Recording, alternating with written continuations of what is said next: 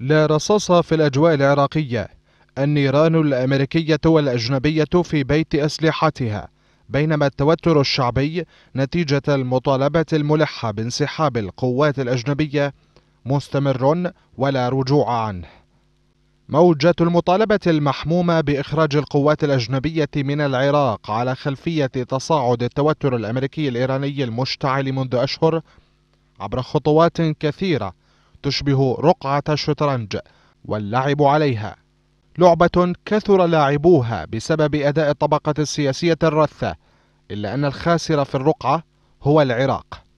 وبين نفي وإثبات تستمر القوات الأجنبية كما هي في قواعدها العسكرية في العراق. أما الحديث المتداول عن انسحاب أو تقديم دول من قيادة العمليات المشتركة الانسحاب من البلاد ما هو إلا محض شائعات نفتها الحكومة العراقية. في الأثناء تعلن الإدارة الأمريكية أن قواتها باقية ولا حديث عن الانسحاب في الوقت الحالي. التخبط في المعلومات مرده ضبابية الساحة السياسية والأمنية بينما يتباكى المتفرجون على سيادة العراق التي تعرضت لانتهاكات متعددة من طرفي الصراع.